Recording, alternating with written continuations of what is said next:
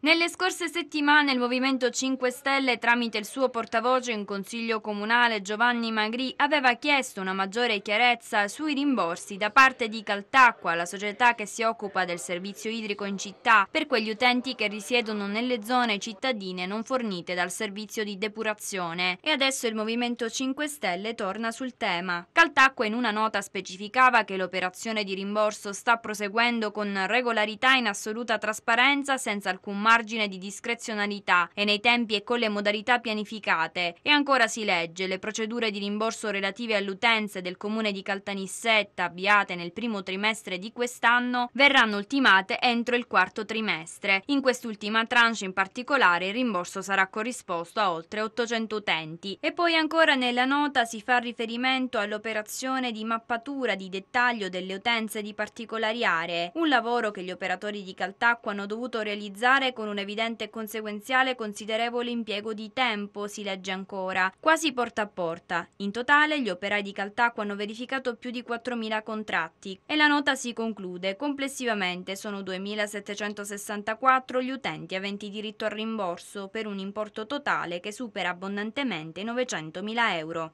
Si torna a parlare di questi rimborsi che sono importantissimi per i nostri cittadini, sono dovuti da parte di Caltacqua. Volevo fare un brevissimo excursus in modo da spiegare una volta per tutte quello che è accaduto.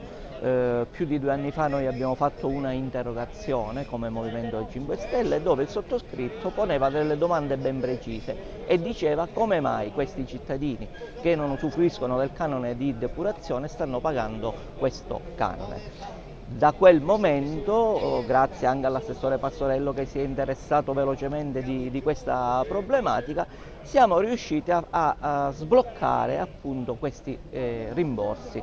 E quindi adesso Caltacqua ci informa che ha, fino ad oggi ha rimborsato 900.000 euro, di questo noi siamo felici, però ancora non c'è trasparenza in questa operazione. Caltacqua ancora, dopo tutto questo tempo, non si capisce perché non dice ai cittadini quali sono le vie effettive che deve ancora rimborsare e quali no.